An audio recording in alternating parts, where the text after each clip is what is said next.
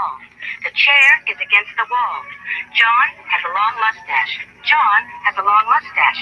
It's 12 o'clock, Americans, another day closer to victory. And for all of you out there on or behind the lines, this is your song.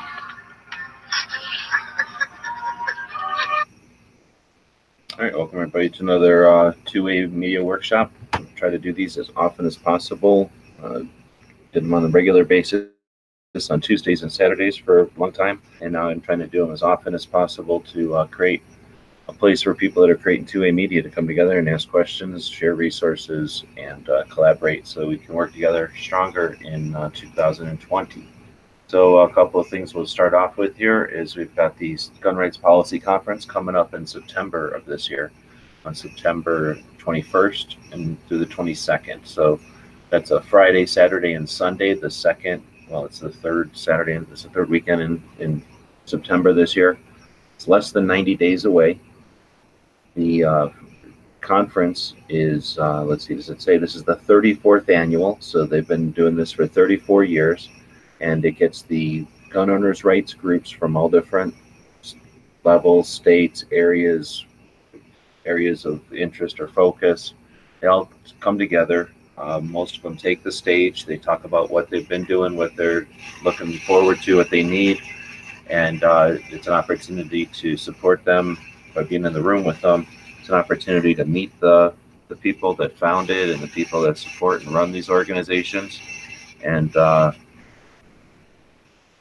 it's this year in September. So uh, we want to let people know about that. It's free to to attend.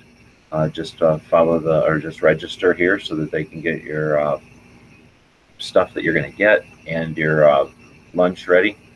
Uh, you get fed and you get a lot of materials. So you're just looking at it as a transaction, it's the best transaction you'll get for pro guns because it costs nothing and you'll get a lot out of it as far as getting fed well getting contacts and meeting people.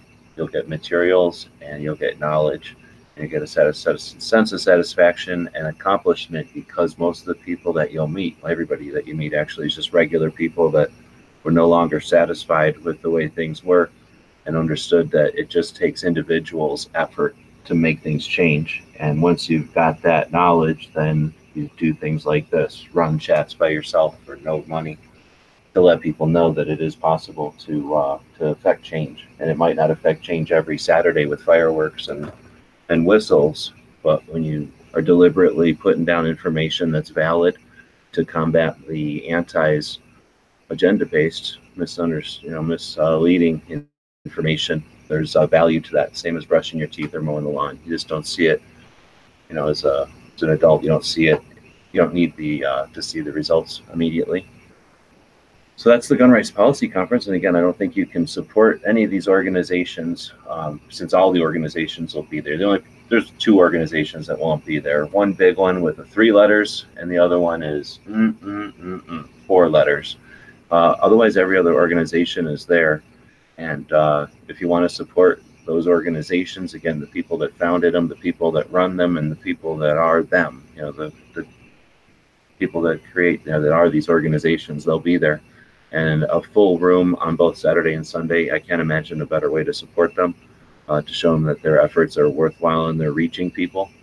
Um, I don't know. I have some experience with nobody showing up to your efforts, and uh, I can imagine it would be even more um, useful to have people get up off their butt and get to Phoenix. It's no small task, except for people like me who can just drive down the road. Uh, aside from that, it's um, it's a great opportunity to meet people. And if you're creating content, that's what these two-way media workshops are for, people that are creating content or considering creating content. Uh, I want to encourage you to do so. There's probably no financial gain at all, other than the satisfaction, I think, like Sean from We Like Shooting said in our chat the other uh, month ago now. Uh, if it's all done and said and we lost, would you rather be one that fought or one that just said, yeah, we probably won't win, just sat there and didn't do anything? I'd always rather be one that fights because I've seen too many times when they said there's no way to win, and the people that put in effort change that. So if you're in one of those, people and you want to uh, go to this event to meet these to, to, meet the organizations, people that make the organizations up, then I'm going to encourage you to also can uh, um, consider the AMCON. I guess it stands for Second Amendment media workshop. And Then that comes into AmCon, and then uh, that's the day before the gun rights policy conference. So if you uh, go to their main page and click on register, you can register for this event. It's also free. I think they just need to know how many people to set up chairs for, and maybe there's going to be. I'm not sure what they're going to do. So you can register though, and uh, and be a member of that event and that'll be I'll just close it. That'll be the day before gun rights policy. So that'll be on Saturday, September or Friday, September 20th at the same location.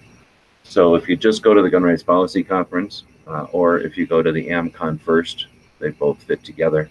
Uh, in either case, in the evening on September 20th, everybody will get together. It's sort of a meet and greet. Uh, there's usually like coffee and drinks and uh, some little foods, you know, things to eat, a piece of cheese or cake or something.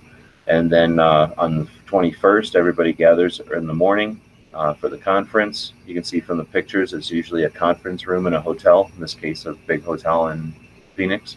And we've got a, a conference room there. There'll be a the area out front of the conference room We'll have a bunch of tables set up, and most a bunch of the Second Amendment uh, and gun owners' rights groups will be represented there, and you can chat with them. Uh, individually, you know, speak to them about whatever you might want to do or offer resource or something, and then uh, purchase their um, logo stuff. So that's a great way to get their patches and their shirts and stuff without wasting money on shipping, because uh, they'll have a bunch of that stuff there. And there's not a lot of people that attend, so there's almost always extra stuff. You never have to worry about running out. Uh, so that'll be Saturday. It'll start early. Uh, it'll run through lunch with conferences, with uh, sessions, and then at lunchtime, everybody gets fed and you stay in the conference and just keep going with your food. It's usually pretty decent food. It's always been pretty decent food since I've been, aware of it. Uh, then we get to the afternoon conferences, and then it'll end again. There'll be a bit of a pause, and then they'll have an evening, I guess, as a dinner. And uh, you get fed again, and uh, lots of opportunity to chat and to, again, network and collaborate on projects. So uh, if you're attending the AmCon, uh, or you are creating content, you're just attending the gun rights policy conference. The conference itself is great for information and for getting to know everybody, but the after hours are just as uh, effective. Unlike SHOT Show or some of the other big events, there's I don't believe there's a whole bunch of things to do. There's really just the one meet and greet and one get together. So it's not like you have to have your attentions divided or anything. Uh, and then uh, it's real casual. Everybody gets to hang out, and you get to see everybody with their hair down, and it's uh, very effective uh, time on both Friday and Saturday. Sunday it'll start up again, and it's a shorter day, and they'll again have a lot of the focus groups on Sundays. Uh, some more of the, the gun owners' rights groups will chat, uh, and then they'll wrap it up. It's also an opportunity to have um, to read any what are they called emotions. So as a member of the Gun Rights Policy Conference, I guess you can, or maybe probably a member of uh, Citizens Committee Keep and Bear Arms. I think that's who puts it on. Uh, but as a member, you can propose a resolution. Uh, for example, getting rid of the NFA or opposing bump stocks, you know, whatever it might be. And when they're resolved, then I guess the and the uh, pro gun owners' rights movement would be like, I don't know, I don't want to say officially aware, but you know, they, they can put it on the list of things to address. And uh, so there's some interactivity on Sunday, I guess. I'm not uh, I'm butchering all that, but uh, go on Sunday and figure it out for yourself, or go on Saturday and ask about what's going to happen Sunday, so you're not caught off guard. But uh, there's definitely an opportunity on Sunday to be, interact with the conference and to have your position known if, if the the community is missing something or not paying attention to something on the horizon, this is an open community and there's a, a way to alert everybody, even if you're not a giant channel or you don't have everybody's attention. So that's the Gun Rights Policy Conference, and that's the uh, we call it the uh, AmCon. So I'm going to encourage people that are able to get to Phoenix to, to check it out. Looks like you can get their special room rate of 119 a night almost positive you're going to find cheaper hotels in Phoenix than 119 a night. So if you're not worried about going to a fancy place, you can find a hotel in Phoenix for cheaper than that, I bet. And if you can't, come in one of the workshops and we'll help help you figure that out. All right, with that said, I threw out an email to today to about 40 people, and it looks like everybody's busy. So, uh, you know, whatever. So, I got some people watching, one person watching. Seriously, talking to myself here. I'll refresh this. All right, we got eight people watching. So, if you have specific questions, let me know. Otherwise, I'm curious if anybody is a uh, backer of the Kalsh Patch Batch, which is what I'm going to be working on this afternoon. Uh, I'll refresh this. It looks like we're at, we just passed the 50%, or we just reached the 50% with 888888. So uh, we might finish this campaign. We still have another eight days to go, so a little over a week. It'll, I guess it'll end next Sunday. So uh, we'll see if it if it it's an all or nothing one. It's a fixed goal, which means that I can't afford to get half the patches made at $800, it would actually cost more to make half the patches than the whole run of patches. So uh, this is an all or nothing.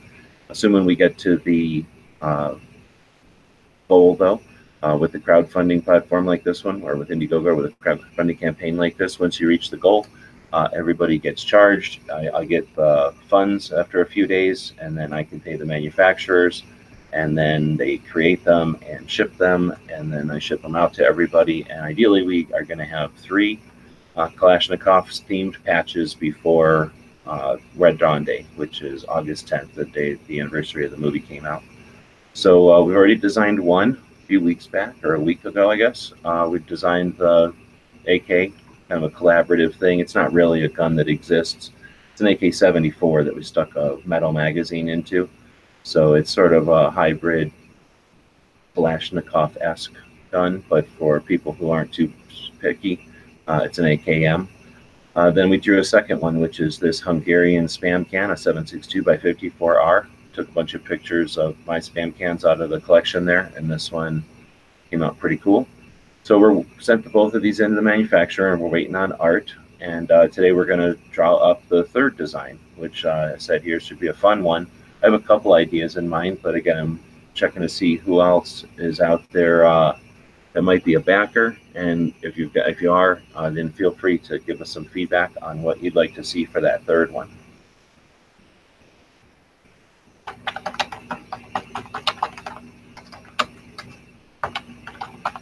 So uh, I am not interested in just chatting. I'm not here to entertain anybody. So uh, this is a workshop. There's links out to 40 something people. And uh, if they show up, we'll continue on. Otherwise, I've got some drawings to do. So uh, oh, I guess I dropped it off to my Patreons there. We'll drop that. Uh, I'm going to go ahead and drop the link to the Gun Rights Policy Conference so I can close that window. And again, encourage anybody who hasn't heard of it or might be able to travel in Phoenix or in uh, September to uh, think about joining in Phoenix. And uh, I'm going to quit screen sharing for a minute. I'm going to get my stuff going here and we'll just listen to a podcast, I guess. So uh, let's see, why don't we go? I guess I can still screen share for this. We'll go look at uh, Gun Freedom Radio, see what they've got out there for new podcasts.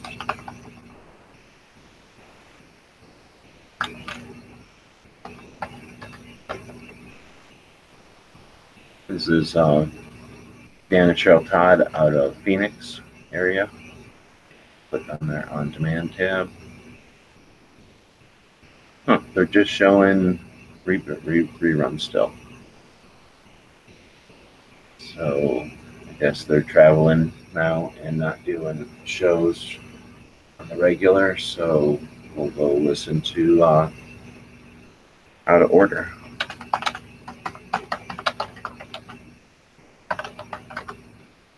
Out of Order with James Kalita is another awesome podcast. Derek, somebody from Munitions Law Group became, what that is, Frank something from the Reefers Foundation, David Powell, Indiana State Rifle and Pistol, blogger on gun politics, Walter Block, uh, Rob Morse. Rob Morse is the Polite Society podcast, and he's one of the people that puts on the AmCon. And we got Massad Ayoob, so I'm pretty sure I listened to Massad Ayoob already, and I think I listened to Rob Morse. So I think I'm going to scroll up a little bit and listen to what this is all about with the uh, Indiana Rifle and Pistol Association. This is the, uh, Out of Order Gun Rights Podcast, episode 116. Here you go. It's the Out of Order, um, the James Kalita podcast. It's a awesome podcast where James will just introduce the people and then turns lets them have the mic for like 20 minutes. That's what I model my interviews after. And uh, I asked him if it's okay for me to play his stuff on these workshops since nobody jumps in. And uh, so I'm gonna do. And I'm gonna get in. Uh, I'm gonna get my uh, software up and running here, and we'll see if there's any feedback from people with perks. Otherwise, I'll just start drawing something. Guess. Welcome to the Out of Order Podcast, your window into the firearms community, exploring those shaping the future of our rights and protecting our lifestyle. Laws, legal cases, activism, and self defense in a candid and honest podcast for our brothers and sisters in arms. Here's your host, James Kalita.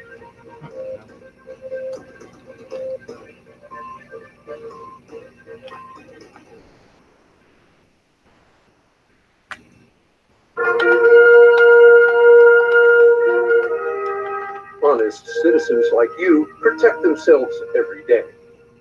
We talk about it every week on the Self Defense Gun Stories podcast. Were these gun owners lucky, or did they have a plan?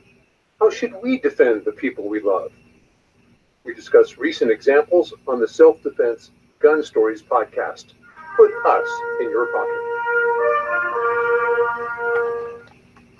Thanks for tuning in to episode 116 of the Out of Order Gun Rights Podcast. Show notes page for today's episode are outoforderjameskalita.com forward slash 116.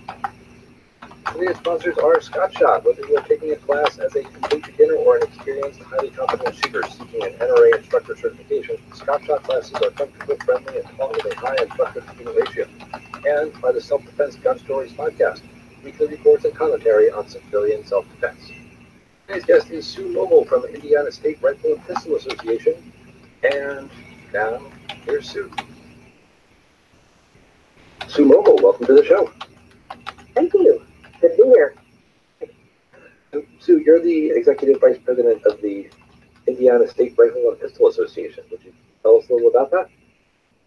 Uh, the Indiana State Rifle and Pistol Association is the uh, uh, state arm of the, um, the state affiliate for the uh, National Rifle Association.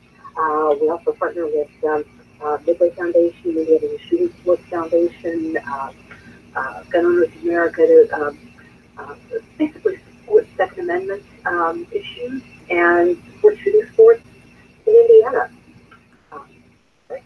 So, how did how did you become involved with the organization? I, several years back, um, I had always wanted to, um, Lot of biking as a kid, and had always wanted to kind of get back into it as an adult. I wanted to get um, a gun for self-protection, particularly when I, I lived alone uh, by myself, and never really wanted to get a gun until I had time to learn how to do it right, because I figured uh, 2 o'clock in the morning when somebody's breaking through your, your door is not the time to learn the magazine release. Crazy. So um, back in uh, '94, um, another, one of my colleagues, uh, I'm, I'm um, retired now, but uh, uh, one of my colleagues uh, at the time, uh, very avid shooter, had shown range um, in Indiana, but uh, was getting a group together to go out to a Gunsite out, out in Arizona. And wanted me to go along with them. The, the long class, they had uh, most of them were taking a shotgun class, and I was going along for a pistol class. I thought this be a good, good opportunity to uh, they get some good instruction, have good time, but the uh, Arizona, I came home hooked. it was a great time, great fun. Uh, six of us from Indiana went out, just had a really, really good time. Um, very, very good class. And, uh,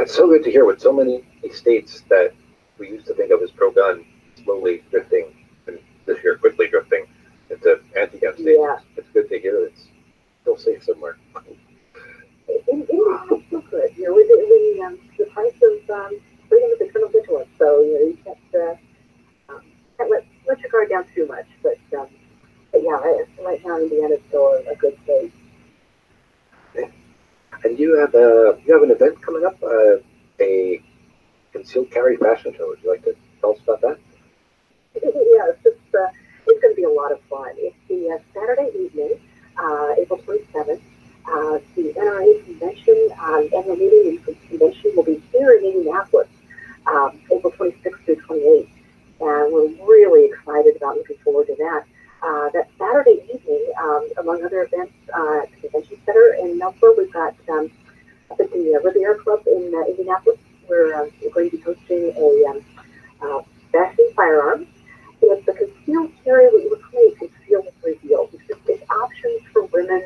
Um, we're also going to include the guys in here. but you know, we're going to have vendors who are going to have holsters with various ensembling uh, carry options available to show and kind of demonstrate how those can work with um, uh, women's fashion for uh, a lot of different venues. Um, you know, women don't particularly want to just be limited to jeans and a uh, tactile vest when they're, they're out and about for business wear or, um, you know, casual, um, you know, events. So we, we want to be safe, we want to be protected, but we also want to look good too.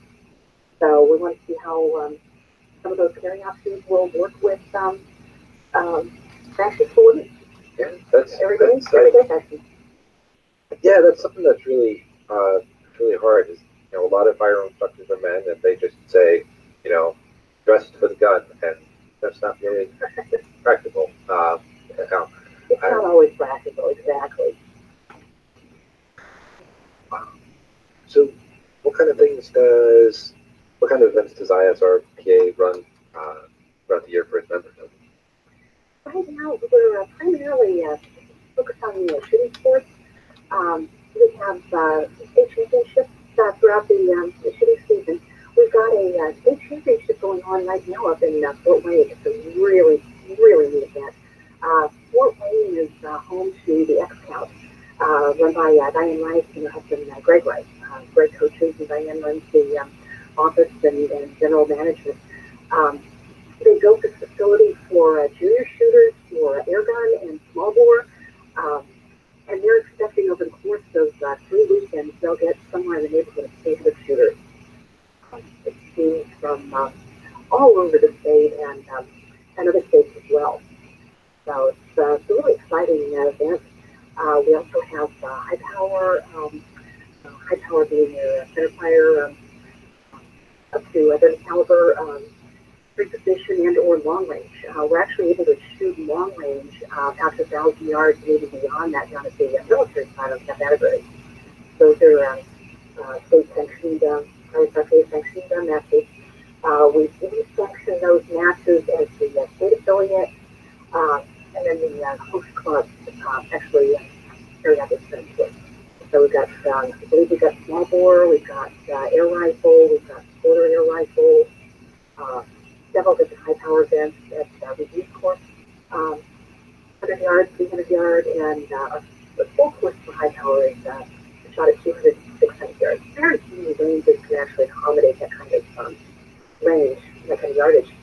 So they do a visually reduced course on 100 yards um, and up to uh, 300 yards. It.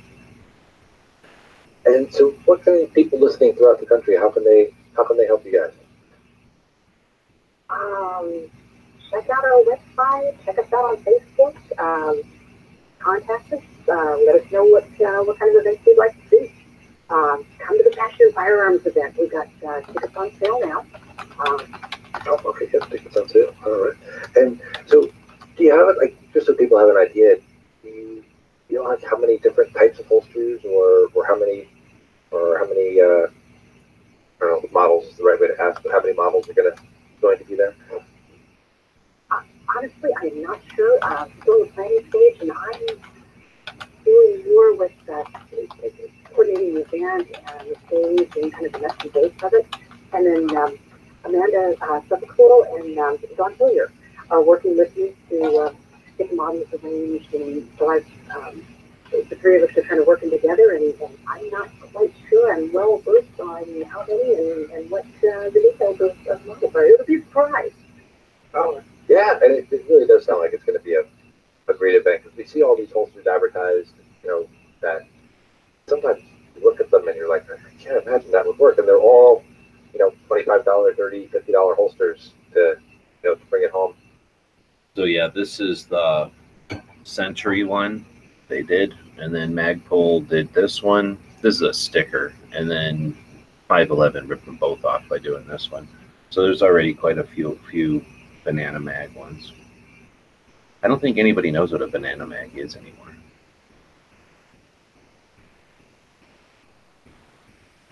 And looks like somebody on Etsy did this one or Pinterest, I guess.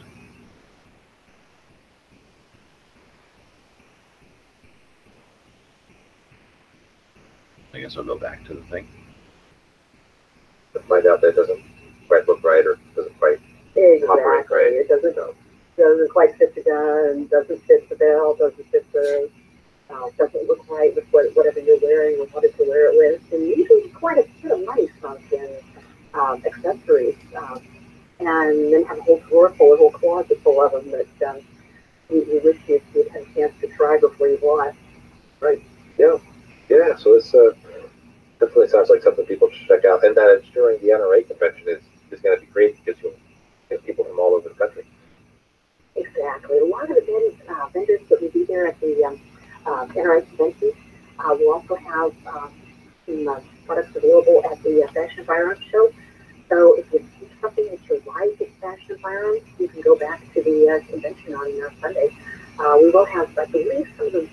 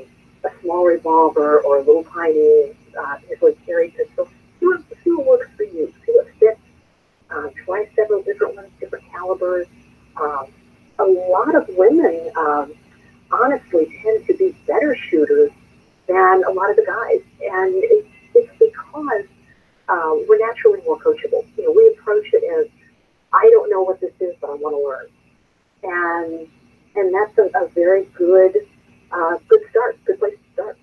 Great. And so uh, I'll put links to the Concealed Carry Fashion Show and the ISR uh, On the on the website. Is there any other uh, social media or uh, websites I should link to there? We're on Facebook. Um, we've got uh, Indiana Girls with Guns on our uh, Facebook page. Uh, that's for the women of the ISRPA, specifically um, the girls. Um, we've got, um, and then we've got our, our uh, regular ISRPA website, and we've got our uh, ISRPA Facebook page. Okay. So come visit us. yeah. Uh, tell me about Indiana Girls with Guns. What's uh? That was started by our um, vice president for uh, women, um, Linda uh, Levin, uh, several years back. Um, she had the idea for um, this Indiana Girls with Guns, kind of a um, uh, comfortable, inviting um, women to come out, learn to shoot. Um, uh, we made up some T-shirts and uh, went to several events, and, and just basically, you know, we started with you know, women at time, and just ways to, get women involved, get training, um, get information out there. Um, she has gone on um, and passed on the uh, torch to uh, Dawn Hilliard uh, of Heidi Hill- Hilda. Um, Dawn is a neat lady. She's going to do a great job um, and taking taking over the women uh, women of the ISRPA and um, moving forward, uh, supporting in women, uh, supporting women in uh, shooting sports and um, women who want to get training and learn to learn to protect themselves and uh, learn safety and have fun. Well, I thank you so much for being on the show. Any parting words for our listeners? Um, just, I guess, come out and see us, uh, check out Fashion Firearms, and um, uh, check out some of the opportunities in your area and um, have fun with it. Learn and have fun. But thank you for being on the show. I look forward to talking to you again soon. I appreciate it. Thank you so much for having me. Thanks for tuning in to episode 116 of the Out of Order Gun Rights Podcast. Show notes page for today's episode is outoforderjameskalita.com forward slash 116. Thanks for listening. We'll see you next time.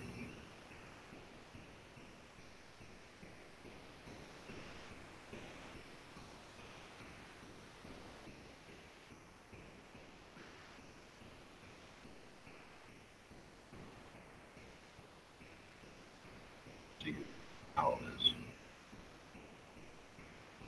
Out of Order Gun Rights Podcast, episode 117. So Tony was saying the um, what do you call it? That Kalashnikov picture, but that guy, there's already a patch of that, so I'm gonna see if I can find it. It's the same company that makes these, I think. I just don't have one. Anyway, those real photorealistic types are difficult. This one's not too bad actually, but the one at Kalashnikov, um, I mean, you can tell what it is, but it looks like our October ones. I mean, they definitely look like a sewn picture. So they, you know, they don't look great. So, uh, I don't know. I haven't had great success doing images of people. A thing is pretty simple because it's got straight lines and stuff. I figure out. I gotta figure out what company. It might be the same company that makes this one because it was basically the same picture.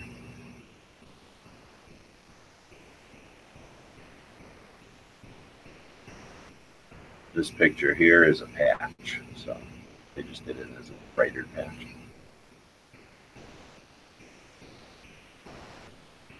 Monkey holding a banana look like an AK. Uh, it's an idea. A bear walking with it strapped to its back. So the bear walking away. Thing is, I don't know. I mean, I guess you're saying like a Russian bear. Okay, a big Russian bear with an AK. How about a monkey holding an AK? I don't know. There's that monkey holding an AK in Planet of the Apes, the new one.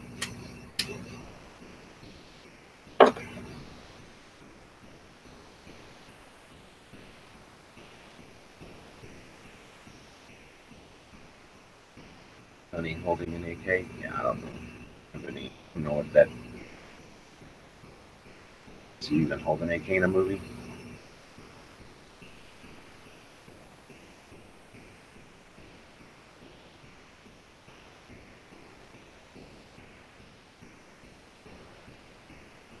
Talking about a bunch of cants. Russian bears are so into themselves. All right.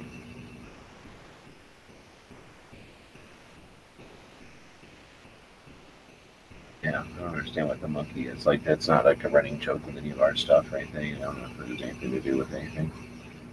So, I'm gonna keep digging. What the hell is all this? Oh, that. This was the uh, Illinois State Rifle and Pistol Association that they were just talking to over on James Kalita's podcast. So I'm going to link to that on both the chats again. How about an AR trying to change into an AK? Mm, not elaborate, maybe? I don't know where you're going. You're talking about a patch here. Crazy person off their bananas. I'm not sure. I'm gonna okay. Dave Powell, founder of CA Against Gun Control. I guess that's California, I bet. honest citizens like you protect themselves every day. Talk about it every week on the Self Defense Gun Stories podcast. Were these gun owners lucky, or did they have a plan? How should we defend the people we love? We discuss recent examples on the Self Defense Gun Stories podcast. Put us in your pocket. Welcome to the Out of Order Podcast, your window into the firearms community, exploring those shaping the future of our rights and protecting our lifestyle, laws, legal cases, activism, and self defense in a candid and honest podcast for our brothers and sisters in arms. Here's your host, James Kalita.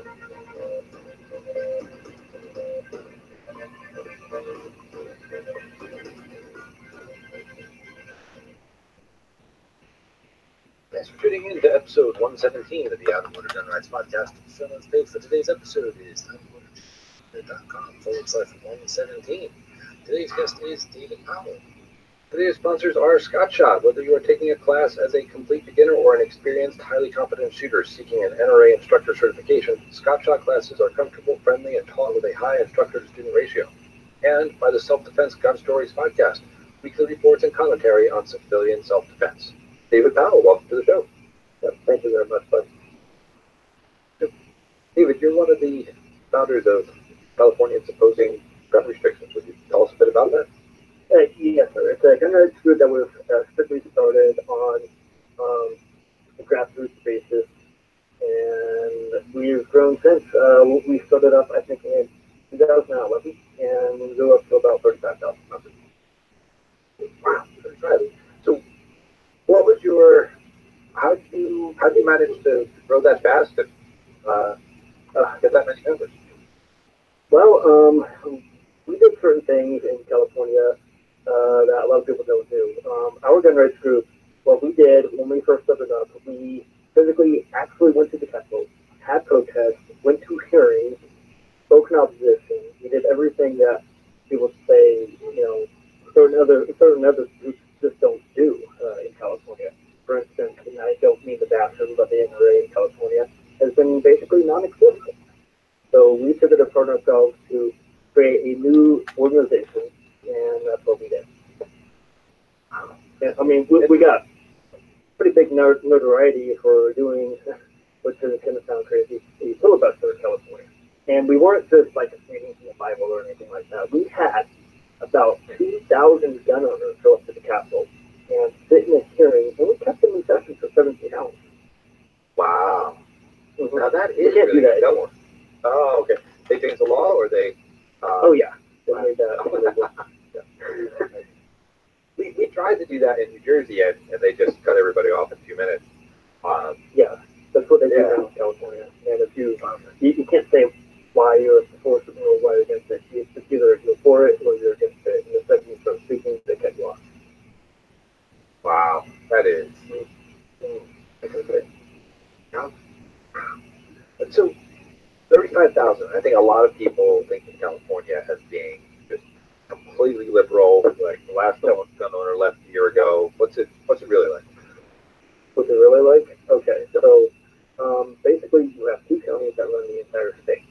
Okay, you have LA County and San Francisco, the Bay Area. More than one county, but we just count San Francisco as a whole is super liberal.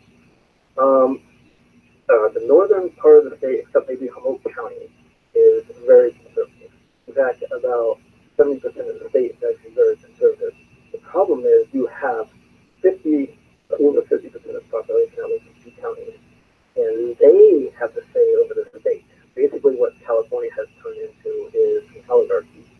And um, because of that, you have mob rule. And so if 51% of the people say they want one thing, the other 49% of the people, they, doesn't, they don't even matter at all. So it's literally mob rule at this point, and uh, there's nothing we can do. We have no voice. Uh, so, what are some of the things that this organization is working on? No, sadly, the organization kind of died out after I left California. Um, one of the, the founding members lost her home recently to the campfire in Chico, and her house completely her house completely burned down, gave up. Um, one of the other founders actually uh, helped helped out quite a lot with gun owners in California, who is partners with gun owners in America, and the organization basically died. Um, it, it's kind of sad. Uh, I lived so close to the Capitol at one point where I would just go there before I went to work and spoken up this. But I, I moved to Nevada uh, for a better job, um, with a guaranteed job nonetheless, selling firearms now, which is funny. Um, but the organization kind of died, and I really wish someone would have um, took over the reins and, you know, uh, did something with it, but it didn't go anywhere. It's, it's been dead for basically two years. So, I, I've had the experience of living in, a, you know, in New Jersey. It was very restrictive. In Pennsylvania, that was much less restrictive. And you know, I find two different sets of problems, and I wondered if your experience has been similar. When when I was in New Jersey, you know, people would either be indifferent to firearms, and then as they became, you know, enthusiastic about firearms, the, the most most enthusiastic ones would leave, uh, you know, because they you know want their guns. Uh, but then you- you'd have trouble. You'd have like this attrition period where people would would uh, you know sort of fade out. But then in the less restricted state, there's almost apathy in that people don't think that the threat's there, that it's not coming. Oh, yeah. Yeah. That's exactly how it is here in Nevada. And people in Nevada, uh, they need to wake the hell up very quickly because we are now a being state, which sucks because only one county to this. We have 17 counties. Nevada has basically turned into East California, that's what we call it. And they get run the entire state. Uh, the worst part about this whole thing is everybody treats Vegas, not Carson City, as the capital of Nevada. Whatever they say goes, and no one else's voice is allowed to 16 other counties. Uh, their voice means nothing at all. That's and is that because again because of the population density or Absolutely, yeah, that's, have a huge population density in one little tiny city. And the rest of the state is, you know, kind of deserted, but that doesn't mean that their voice doesn't matter. And it's not fair, uh, for states to do this, uh, uh, for California or Nevada or any other state. What we want in, uh, Nevada, uh, which would actually help California as well, is to change our, uh, voting system here to be like uh, the electoral college. That way, we're we're basically going to be blue um, again, and it would be the same with California. It'd be the same way if they if they, if they ever adopted the same thing, which they won't because they, you know, them they don't like their electoral college that Trump won, even though he lost the the um, popular vote only because what's for illegal was voted. Um, but yeah, they won't do that.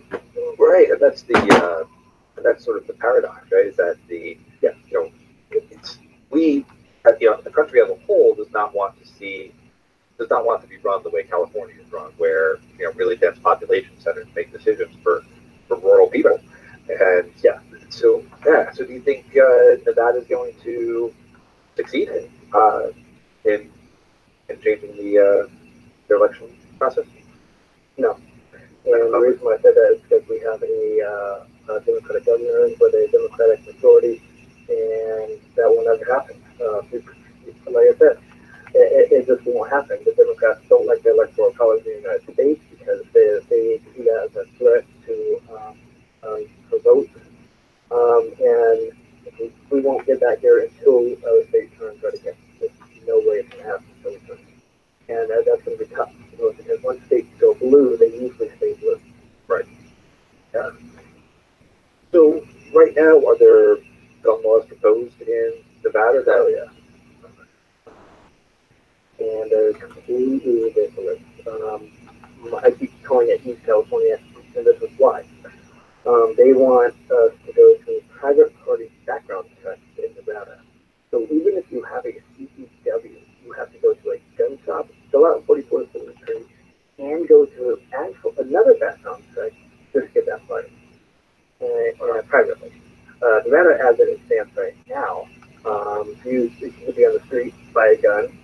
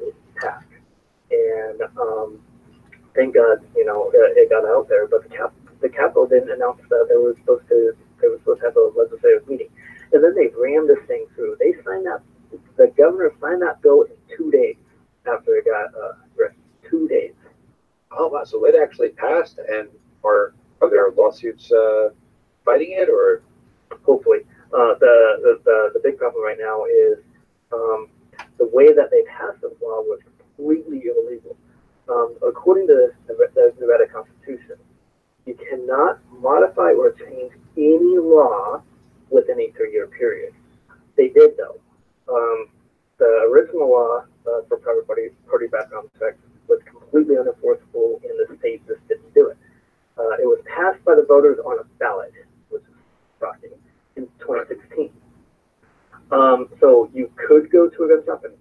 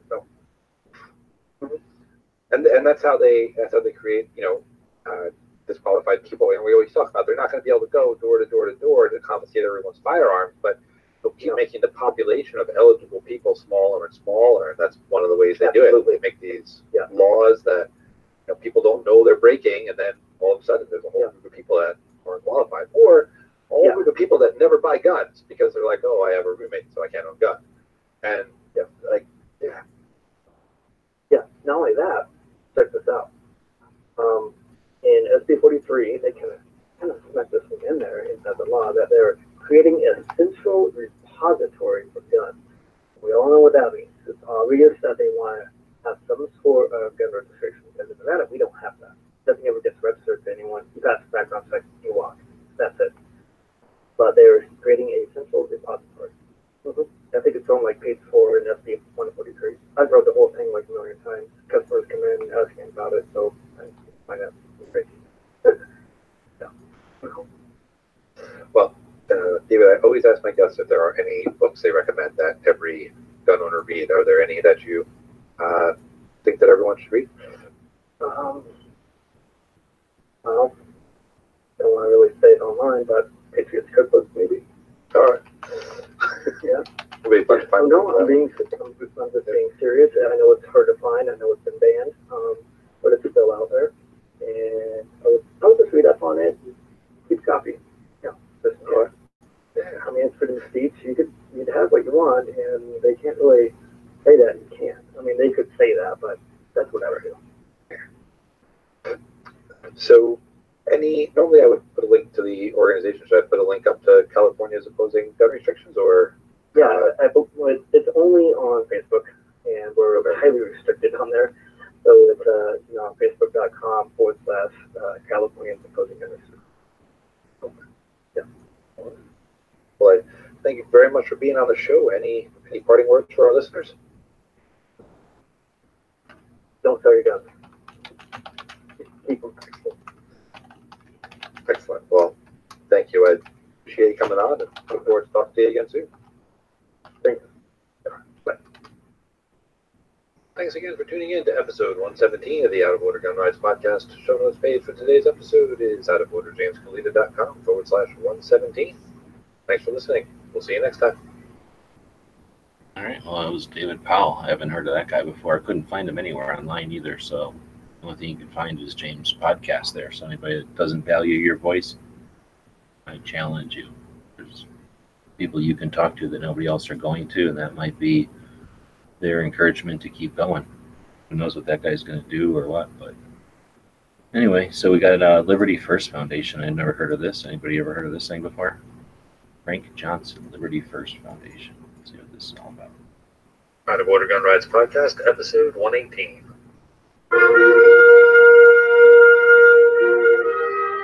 Honest citizens like you Wow, this guy has a three-letter URL. I mean, it's a dot .us, but still one F. Uh, what is it? One. No, L one F .us. That's difficult. Typically, you don't see a lot of three-letter domain names. That's pretty cool. who protect themselves every day. We talk about it every week on the Self Defense Gun Stories podcast. Were these gun owners lucky, or did they have a plan? How should we defend the people we love? We discuss recent examples on the Self Defense Gun Stories podcast. Put us in your pocket. Welcome to the Out of Order Podcast, your window into the firearms community, exploring those shaping the future of our rights and protecting our lifestyle, laws, legal cases, activism, and self defense in a candid and honest podcast for our brothers and sisters in arms. Here's your host, James Kalita.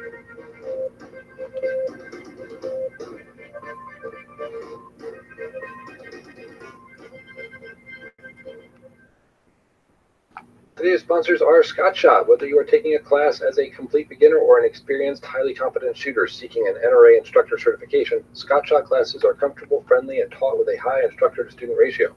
And by the Self Defense Gun Stories podcast, weekly reports and commentary on civilian self defense. Thanks for tuning in to episode 118 of the Out of Order Gun Rights Podcast. Show notes page for today's episode is outoforderjameskalita.com forward slash 118. Today's guest is Frank Johnson, one of the founders of the Liberty First Foundation. And now here's Frank. Frank Johnson, welcome to the show. James, it's a pleasure to be here. Thank you for having me on tonight. My pleasure. So, Frank, you're one of the co-founders of the Liberty First Foundation. Would you tell us a little about that organization? All right. Uh, the Liberty First Foundation started about a year ago, give or take.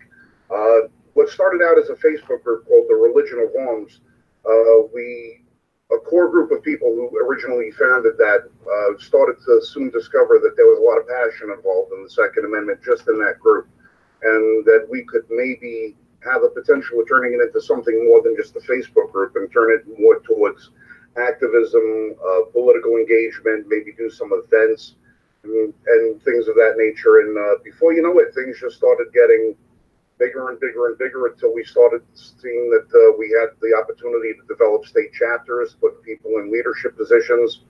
Uh, uh, like I said, help organize different events, get behind certain pieces of legislation, or stand in protest of other pieces of legislation. Uh, it, we, we didn't want to market ourselves as a, a Second Amendment group with the Liberty First Foundation. We wanted to pretty much market ourselves as a civil rights organization that's primarily focused on the Second Amendment. You know, we, we thought to ourselves that if we were to come in under the you know, the gun guy group of America, you know, rah rah, trying to get into some politician's door, we wouldn't probably get too far. But if we came in under the Liberty First Foundation, well, who's opposed to liberty? So right. We figured that that would give us a little bit of an in where uh, religion of arms may not have opened up so many doors. Liberty First Foundation would have a little bit of uh, instant credibility, and so far we've been very fortunate to find that we have. Excellent. So, have you have you started many state chapters yet? Uh, as of right now, I believe that we have 37 out of our 50 states have a chapter leader that has been uh, interviewed by at least six different people, uh, has been put into place, has been giving not marching orders, but sort of a guideline of what we kind of expect from our, our state chapter leaders as far as helping organize events, try to get people in contact with other people, try to find these smaller groups that have limited amounts of people in them to try and consolidate their efforts into into um, one umbrella. Uh, so I think we, we're in and around 37. We're always looking for more people to come in and help. As you can imagine, uh, you know, if you're in a call with five people and you want to find out where to go for dinner, you're going to get six different answers. So, uh, you know, when you have uh, 50 state groups and you're trying to put at least two leaders in each state, you're talking 100 people, that's 100 personalities, and they all have to coincide with one another. And uh, the founders of the group, it's uh, it's a bit daunting, but uh, we, we're getting there. We get for hey for a year's worth of work, and we've come this far. I think it's pretty extraordinary. Yeah. So, what kind of projects are you guys working on? Uh, well, right now, if you look at what's going on out in uh, uh, Washington State, for instance, with 1639, uh, a lot of a couple of our founders have been working behind the scenes to help doing a lot of the research about the laws that they've introduced out there in the legislation that we've helped draft in order to overturn 1639 or at least act as a countermeasure so that we could potentially repeal it. Because 1639 was brought into the forum under dubious circumstances, to say the least. Uh, we were heavily involved with that. A lot of the other uh, states. we one of the things that we've been working on is trying to reach out to the state sheriffs as a um, uh, outreach program for trying to establish more of our sanctuary city policies as far as the Second Amendment are concerned. Like if you like, I'm here in New York, and if you drew a, a line down just about a third of New York, you have about 20 count 20 counties on the western part of New York where all of the state sheriffs have already said that they're not going to be instituting any more of the SAFE Act policies. Uh, the SAFE Act is by far one of the most notorious restrictive gun laws that's on the books in any state. And Governor Cuomo just keeps making it more and more restrictive without uh, opening the forum up to public opinion, without getting any information from people in the firearms industry. They're relying on old, skewed data and basically whatever makes them feel better.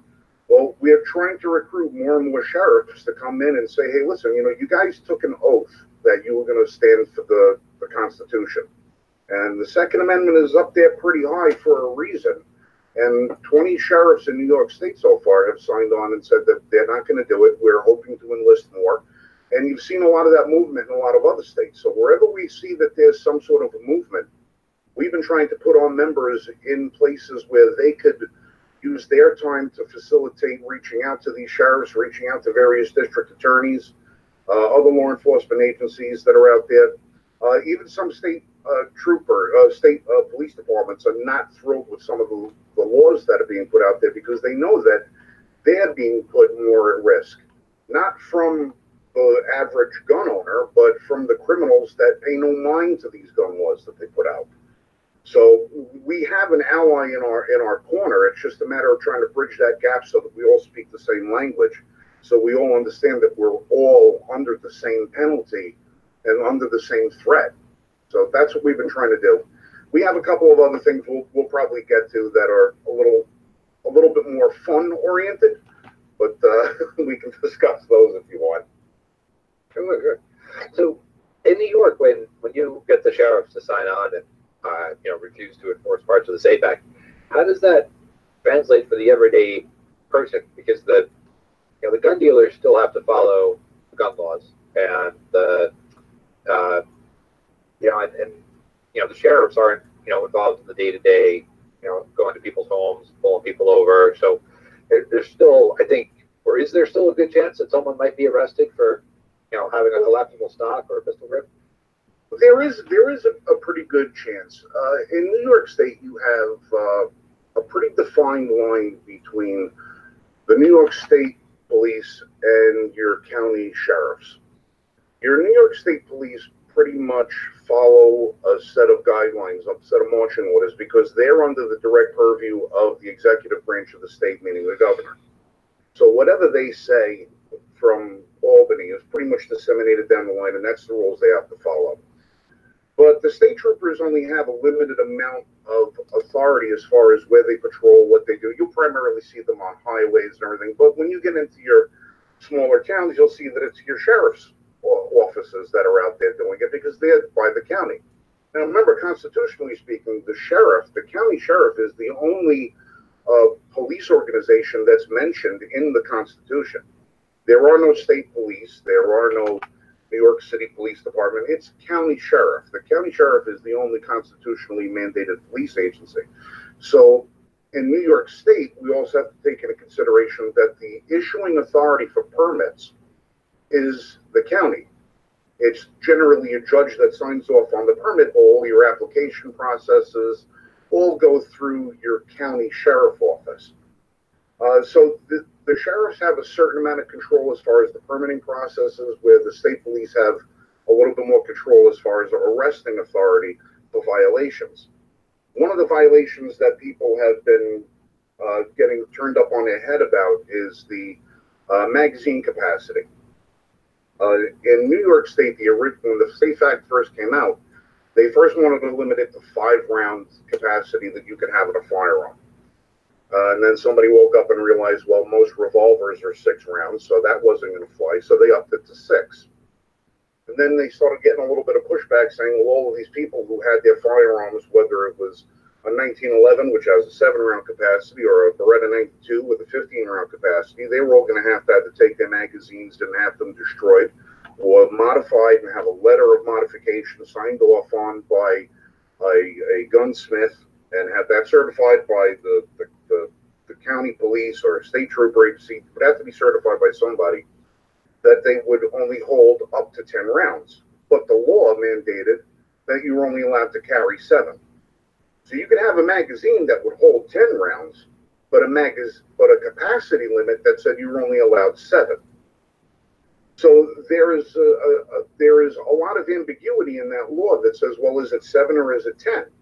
Because we've had people in New York State that have been arrested and, and tried and convicted for carrying eight rounds of ammunition in their firearm because they had a magazine that held seven rounds, had one in the chamber.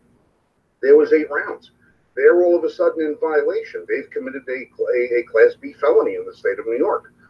We have uh, a couple. We have one case right now that's on its way to the, the United States Supreme Court. Uh, it was one on appeal, and hopefully this is going to be the first thing that really puts a kink in the chain as far as the Safe Act is concerned. It can hopefully bring a lot of it down. Uh, uh, this gentleman was convicted for having more than seven rounds. Now, my, my everyday carry is a Beretta 92. I, I have a 10 round magazine in it. Uh, if I want to be in compliance, I have to have six in the magazine, one in the chamber. Now, I, I don't necessarily know if, God forbid, if I should ever, ever happen to use that firearm in a self defense situation and the person that is trying to kill me may not decide he wants to or she wants to, you know, adhere to the Safe Act. They may have 15 rounds.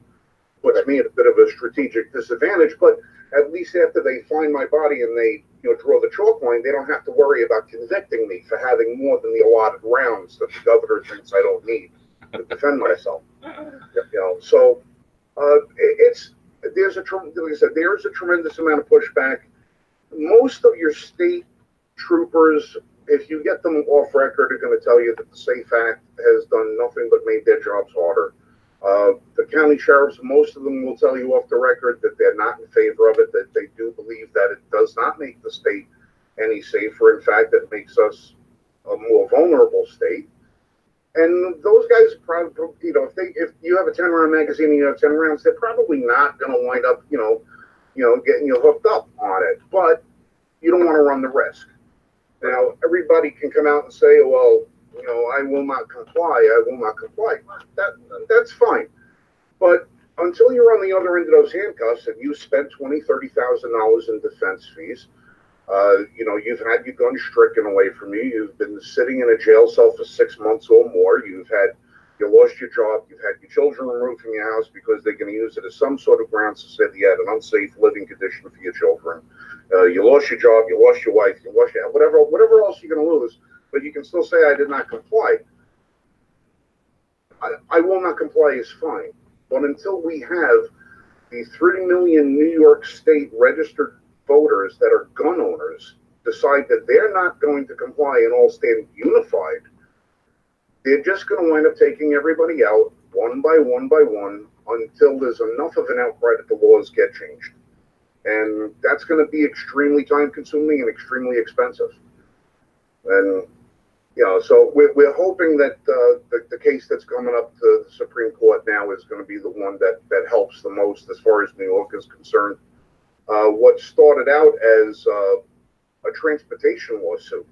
Uh, this guy managed to fold a couple of cases into one, but he wanted to be able to travel from New York to Long Island, uh, from New York State in the upstate area, the Catskills, down to New to Long Island without being a felon through the five boroughs. Because as soon as you cross over the George Washington and the Tappan Zee Bridge or you get anywhere into the, any of the five boroughs, if you have a firearm, even though you have a New York State carry permit, you're a felon as soon as you hit the five boroughs. New York City doesn't recognize your permit. It's not until you get out into Long Island, where you get into Nassau and Suffolk County, that they'll start to recognize your permit again. So for that uh, 65 mile trek going out, you know, you, you're you're in a, a world of hurt if you should happen to get pulled over. And down there, any chance they get of exploiting somebody for a gun violation, they're going to take it. So you will be on the newspaper, you will be on the news, uh, you will get prosecuted. There's very the very few of the cops in New York City are going to have prosecutorial discretion because uh, they're all wearing body cameras now. So it's not like somebody can say, "Oh, well, you know, we understand. Just you know, get you know, no, those days are long gone. That don't happen. Everybody plays CYA, and uh, you're going to go to jail. And that's another reason why the state troopers aren't going to let you get away with anything either. As long as they have a body camera on them, you're going to go. Right. Yeah. So, so you mentioned uh, that guys are involved in some fun things too. Want to tell us about those? Um, well, one of the things that we we wanted to do, we realized that every time that we looked around and we saw somebody having one of these rallies at a state capitol someplace, it's always on a Saturday. It's always sometime in January or February. Wind is blowing, snow is falling, and none of the elected representatives are out there to actually see the hundreds or thousands of people that show up at any one of these gun rallies. The only thing they wind up seeing is a bunch of people with banners and signs and the media twist that to however which way they want to and put whatever message they want into it. So we thought to ourselves about, well, how could we have something as a national rally? And the idea about, you know, marching on Washington, D.C. came up. But logistically, there's there's a transportation issue for, you know, 75 million of us who are not going to be able to get to Washington, D.C. on the same day at the same time. So we thought, well, what was something that we could all do, that we could all participate in from a local level? And we had the idea about formulating National Range Day. And somebody said, well, what would you want to do for National Range Day? And I said, well, we thought about it and said, we have 50 states. If we could get two or more ranges from every state part, to participate in an open house event on the same day at the same time, we would give an opportunity for tens upon tens of thousands of American gun owners and gun enthusiasts to go to a range that's somewhat local to them and participate in America's largest family friendly shooting event. And that would be whatever range that it would be, whatever events that they could facilitate, whether it's skeet and trap or, or bullseye tournaments or rimfire rifle from 50 feet, 100 feet, long distance shooting, whatever the range could facilitate, let them facilitate it. We wouldn't have anything specific as far as what anybody would have to do, except one thing. We want to broadcast it live. Nice.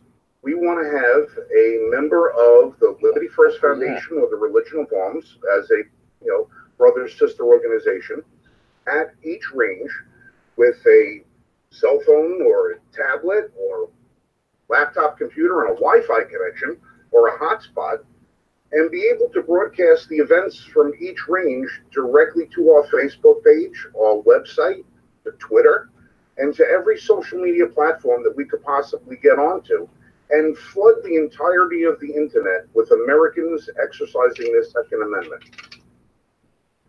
And we thought that that would probably be a great way to tag every single politician in America and say, you know, you kind of ignore us, you know, for the 364 days of the year that we're not voting. But here's a day where you can actually see just how many of us are out here in strength doing what we do and doing what we love to do. And let it be a little bit of a reminder to them that the Second Amendment community is not just a group of people, it's a group of very well armed, well trained, passionate people that are a little tired of having their rights being trampled on by people who live behind big giant walls with armed guards and safe communities and tell us that we don't have the right to defend ourselves with more than five rounds. So that's what National Range Day was geared to be. Was geared to be an event that we could all participate in.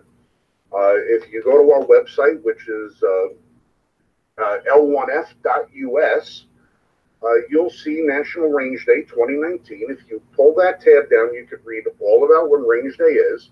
And if you want to get in contact with us, we're going to have an interactive map that's going to be debuting sometime in the beginning of April where all the ranges that are participating, and we have quite a few.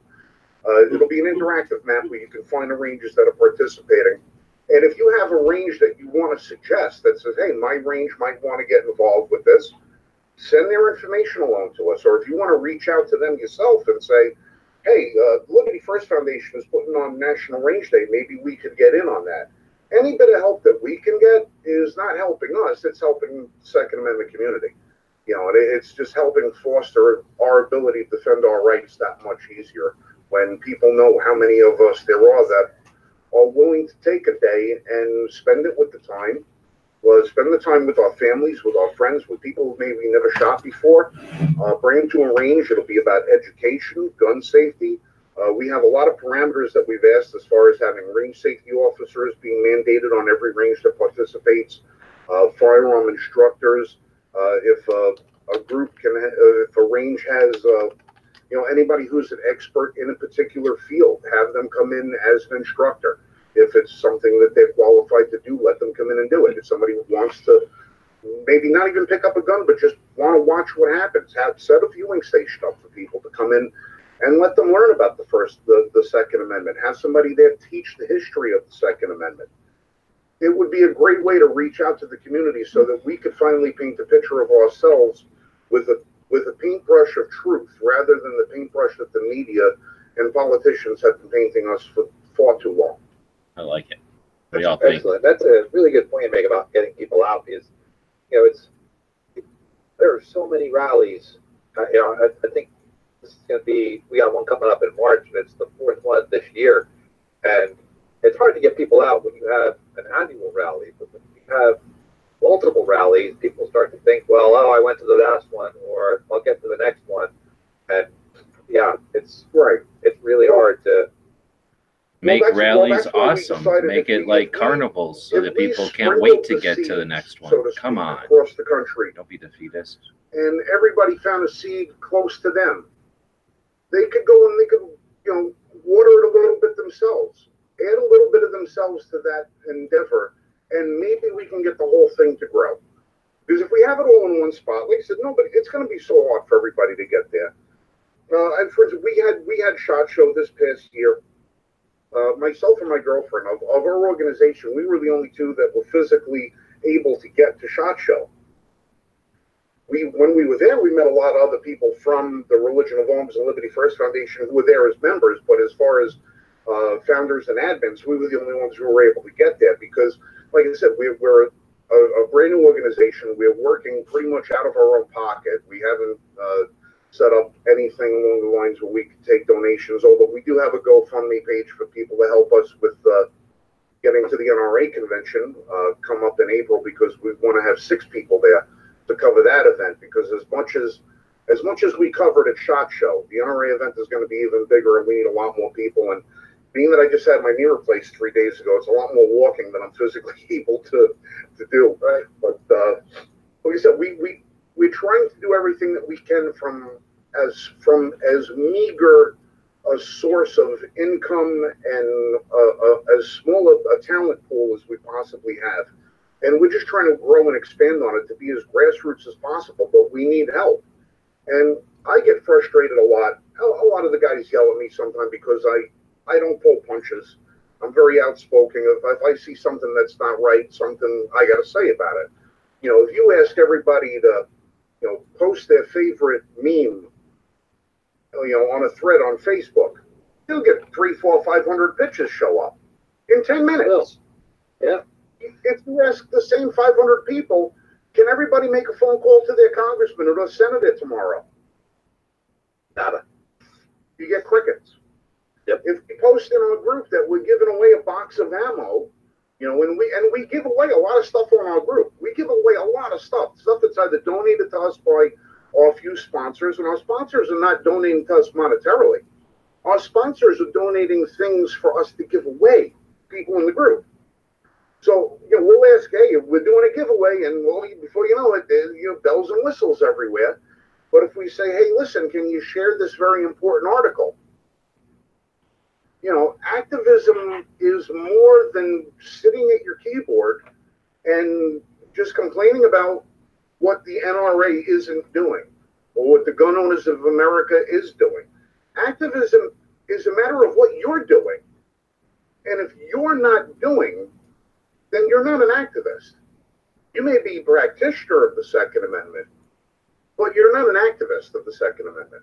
Unless you're actively putting on your boots, getting in your car, going to a rally, writing a letter, making a phone call, going to one of these events, as silly as the media will try and portray us, walking around with our sign that says, shall not be infringed, we can take those slings and arrows because if we can't take that level of criticism, I doubt we're going to be able to uh, take projectiles of a more substantial basis.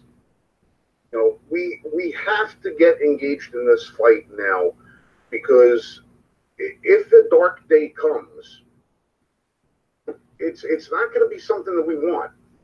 You know, you, you know, we say that we're prepared, and everybody goes back to the uh, uh, the Hirohito, uh, you know, thing about uh, a rifle behind every blade of grass. But you know, sometimes the guy holding the rifle gets shot back at. We don't want to get to that point in America. We've already had a situation in this country where 800,000 people uh, gave their lives for the cause of freedom. And I don't ever want to see that. Not in my lifetime, not in the lifetime of my kids or your kids or anybody else's kids. I would rather we win this fight on the virtue of freedom and the virtue of what our founding fathers stood for and let it people remember that the struggle that they just finished with in fighting with Great Britain was why they wrote that in into the Constitution, why that is there, why that's guaranteed to us.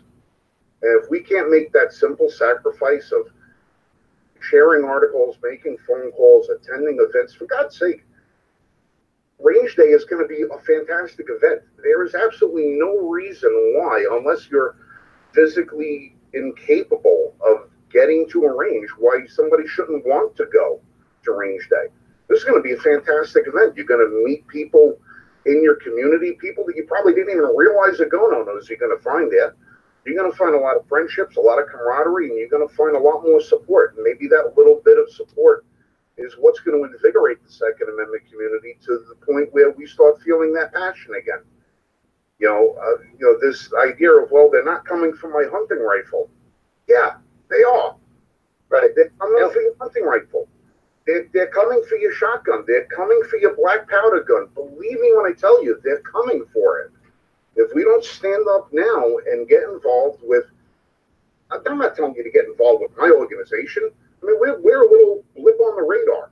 I mean, we're, we're lucky when we get an interview that we're able to, you know, share some of what we do. But get involved with some of the groups, even if you don't like them. God's sake, get your name out there. You know, get on that list so they can bolster one more person on the list.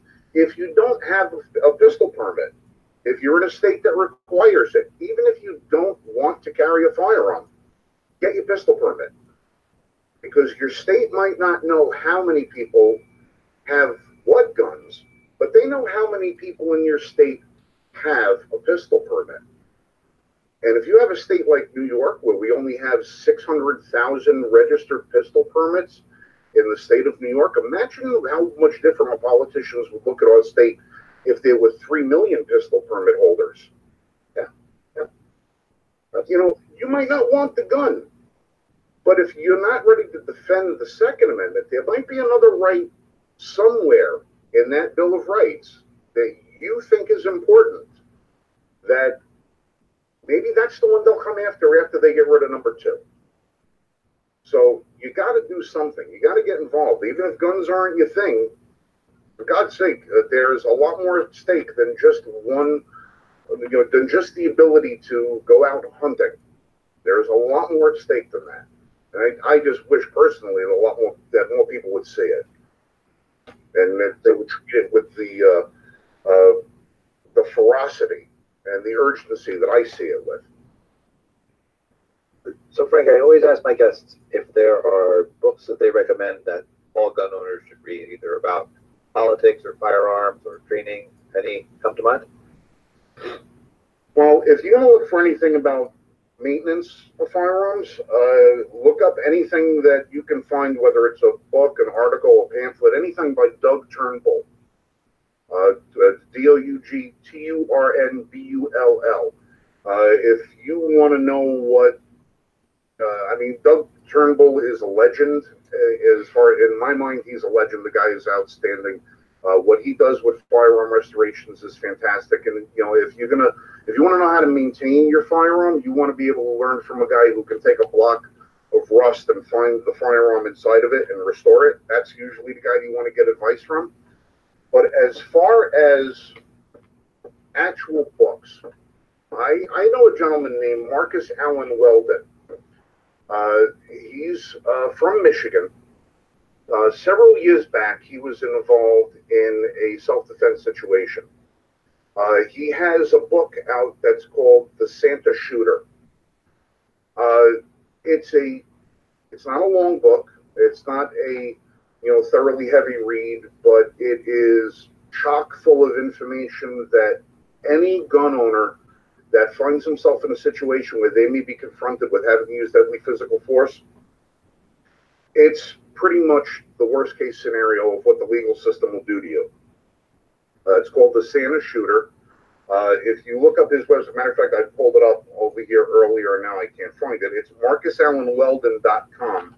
It's uh, Marcus, common spelling, Weldon, W E L D O N, Allen, A L L E N dot com. I highly recommend it. It's a you can it's a, a, a downloadable book. I believe it's on Amazon. You can download it from his website. It's only a couple of bucks.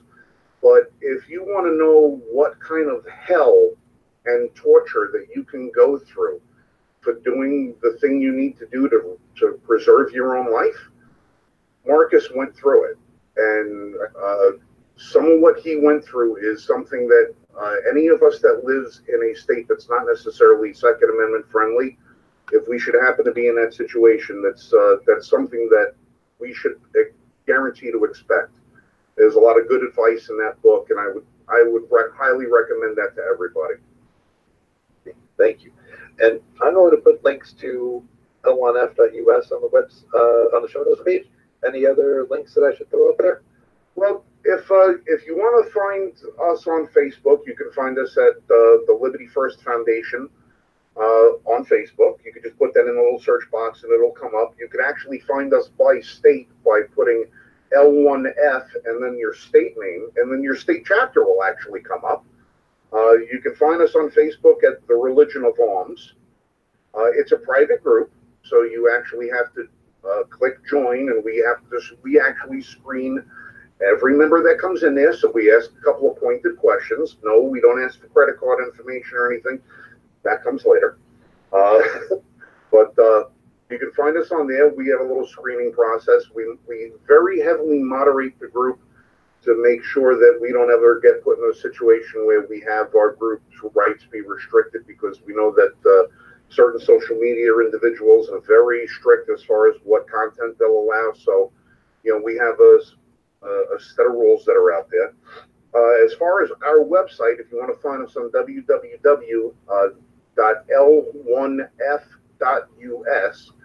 if you go to that website, you'll have links to all of our tremendous articles that are on. We have a team of fantastic writers. Uh, we have a couple of people who you might be familiar with from YouTube, was some of our content creators. Uh, Dan Abraham, they, they, you know him as the firearm guy on YouTube. He writes a lot of articles for us. Tac Cat, he writes for us. Uh, uh, Joel Persinger, the gun guy from out in California, he's been working with us a lot lately to help us promote uh, various things that we're doing. I actually have to speak with him over the weekend. We're recording an interview. Uh, and you'll be able to also find all of our YouTube channels. I have my own YouTube channel. Uh, uh, it's called The Range Report, where right now most of what's up there is a lot of video from SHOT Show, but we'll be doing gun reviews and product reviews and stuff like that. And if it's good, we tell you. If it's bad, we tell you. If it's uh, you know worth it or not, you know we tell you. We don't uh, we don't get paid for our interviews, so you know it's an unbiased account of what we what we're telling you. Uh, and that's about it. And every, we we try to be uh, you know up to date with everything. We're on Twitter, we're on Instagram, but you can find all of those links through the uh, L1F website. Frank, I, I thank you so much for being on the show. Any parting words for our listeners? Uh, parting words, folks. Uh, get active. If uh, if you don't use it, you're going to lose it, and there are more than enough of them willing to take these rights away. So, for God's sake, please, for the benefit of yourself and your children, get out there and get involved with the Second Amendment community. Do what you can to let your voice be heard. Uh, because if uh, you're not screaming, somebody will be screaming in your place, except holding up the opposite sign. So that's the best I can tell you. Well, I thank you so much for being on the show, and I look forward to talking to you again too.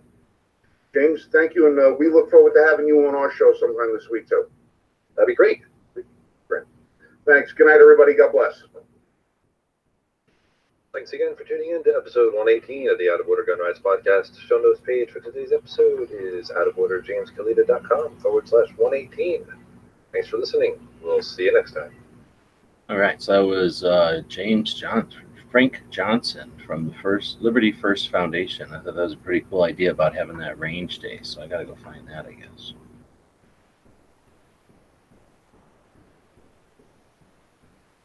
But if we say, hey, listen, can you share this very important article? And if you're silly as them to get in, but you know, it's up to us, range day. This is going to be to us.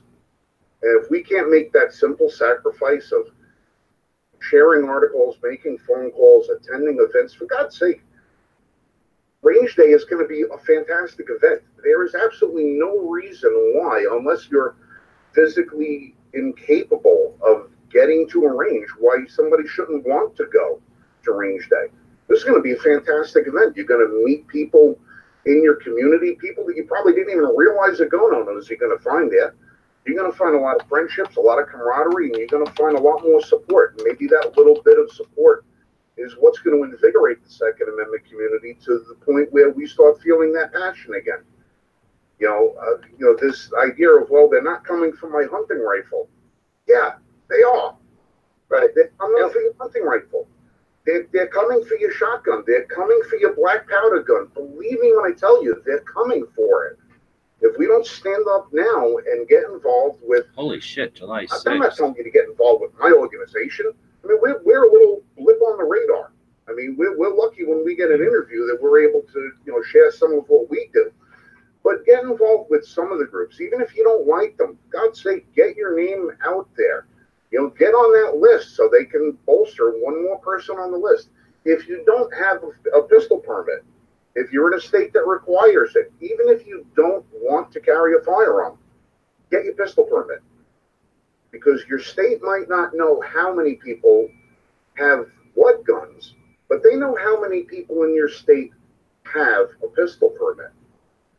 And if you have a state like New York, where we only have 600,000 registered pistol permits in the state of New York, imagine how much different our politicians would look at our state if there were 3 million pistol permit holders. Yeah. yeah. You know, you might not want the gun, but if you're not ready to defend the Second Amendment, there might be another right sub All right. Well, that's a bunch of time. Uh, appreciate the people that joined us, but it's gotten all crazy out there, so there's no point in wasting time. Don't want to waste any of yours. Uh, create these workshops. We've been live for an hour or something, but uh, I don't got any emails saying anybody's late, and looks like everybody's just busy living their lives. So uh, we'll continue to do these. We want to thank our Patreons who make this possible, give me the time to uh, spend on these kind of projects, and we'll continue to keep at it. Thanks everybody for showing up and being here, being part of the conversation. Uh, next week on Tuesday is Every Second Matters. That's been going on for six years now. And uh, just uh, the concept is to keep the lines of communication open on the second day of each month. Take a moment and think about our Second Amendment. If you create content, of course, you're encouraged to do something that's focused on our second. Um, we'll be doing uh, conversations. I'm sure plenty of the shows that happen on Tuesday will focus a little bit on the Every Second Matters. I'll continue to keep inviting everybody I know who's Second Amendment media to Every Second Matters chats and to events like this. We've got an idea for this year. I'll try to work on it before next Tuesday, which isn't very long. I guess it's tomorrow and Monday. But uh, we're going to do something like we did with the uh, uh, form, like we did with the uh, chat battle the other night. Everything we do is to build skills so that we can use it for better stuff in the future, more important stuff. And uh, if we can use that as a way to get people to drop some every second matters information at their convenience, then we'll work on that. So uh, thanks for the people that jumped in who are backers of the project. This is all about the Kalsh Batch, Kalsh Patch Batch. So it's a bunch of patches, patches about the Kalashnikov, and we're doing it in a series, in a set. See, we had one person join just before the show. We'll refresh now. We started off at 888 and we're still at 888 with 26 backers. We just hit 50%. We've got eight days to go. Uh, crowdfunding. You know, I could go find somebody I know who has a bunch of money and say, hey, I want to make patches. And I could go make those patches and I could sell them at a profit. And that's a business, right? You could do that. As long as you got clever ideas and people want to buy them, that's a business. I don't want to do it that way. I like doing it on this Indiegogo campaign. Uh, for one, it shows, I, I try to do these open in these workshops so that people can see how the Indiegogo camp uh, project works, how the, the system works. But if you go over to Indiegogo and you type in AK 47, for example, and you just get all the results from AK 47, Sure, you'll get my playing cards there, but you'll get this bullshit about some war first person shooter that raised $100, headshot zombie experience that raised $45, something about an art terrorist waging war that raised $15,000, a bud locker, so some kind of marijuana thing for some kind of fake money outside the wire. I don't know, it's some sort of maybe military thing. There's our buyer's guide, some kind of comic. I don't know what that deal is, some kind of need to go fight help isis so some guy's trying to go get funded to help isis then you uh, get some kind of soup delivery you get some kind of maybe a i don't know what that is a graphic novel that raised six grand. So there's not much out there. So i'm just trying to put stuff out there that has i don't know some sort of two-way message. If you type in gun see what happens on indiegogo when you type in gun. Get this next generation of gun storage that raised almost $600,000 for a chamber flag that has a lock on it. Uh, you got a uh, fourth annual T-shirt. Oh, this is from C&Rsenal. So there's a project. They raised sixty thousand dollars to make T-shirts on this on this platform. They did that. Oh, they're still doing that right now. So that's that's happening right now on this platform. You've got uh, something about a Western uh, about a young man who visits his father in prison, wanting to know the whereabouts of a gun. More than likely, it's two thousand dollars raised, uh, that was funded. Here's a noon gun explores the impact of uh, guns. Right, dirty gun, guns, explosions, goats helped us make this short film. Drop gun, a young soldier in Afghanistan faces his dilemma when he accidentally shoots a shepherd boy. The gun, we reached our goal. Do you think this is a pro gun one? uh, Gun Cat, the story of a cat, an old man, and the gun between them. Uh, Mama's Gun, um, Melbourne, 1942, a dark tale of a diabolical mother. Uh, gun Simulator, that only raised $47. Some kind of magnet. I don't know what this is, but uh, some sort of stock or something for. I don't know what that is. Then you get something else. So a lot of times I, when I see these, I see these uh, anti-gun things raising a bunch of money. So I just like the idea that we're doing a project that's pro-gun, making some money. So it looks like uh, the C&Rsenal project is doing a documentary series, and the Anvil do the maintenance by ordering our shirts. Support oh, support the series, and then their work, I guess, by ordering their T-shirts. And they've raised fifty-four thousand dollars from a thousand backers for T-shirts. So that's allowing a project. People really like this project. They do uh, the animations and stuff, and they do uh, some sort of posters and uh, putting stuff into real life. Don't they do books or something? So uh, they provide like uh, a, growing inventory or library archive of all their old guns that they own. And then uh, I guess now they got some T-shirts here.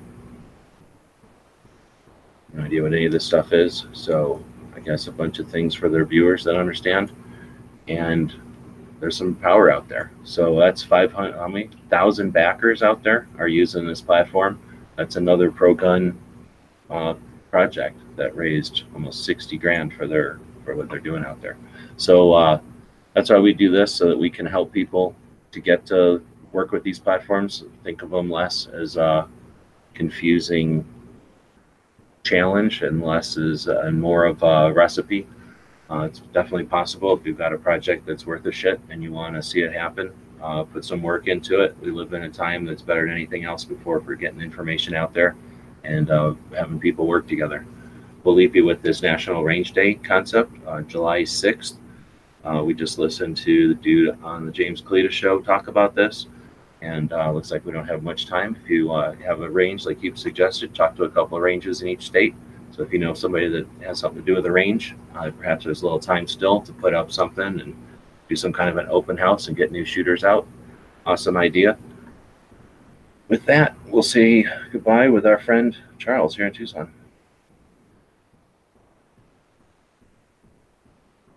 Guys and gals at gunwebsites.com encourage you to take a CCW class every year, practice at least once a month, and carry every day. Thanks for watching gunwebsites.com.